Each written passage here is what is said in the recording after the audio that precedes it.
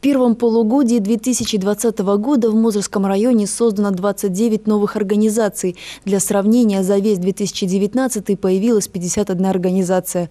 По информации председателя районного исполнительного комитета Елены Павлечко, создание новых предприятий и новых рабочих мест – одна из основных задач местной власти. Это и занятость населения, и увеличение объемов работ.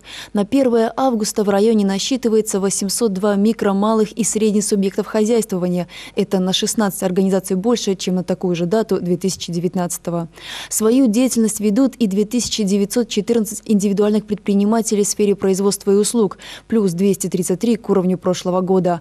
Кроме того, в минувшем году в районе выдавали 29 субсидий на сумму 74,5 тысяч рублей безработным для организации собственного дела.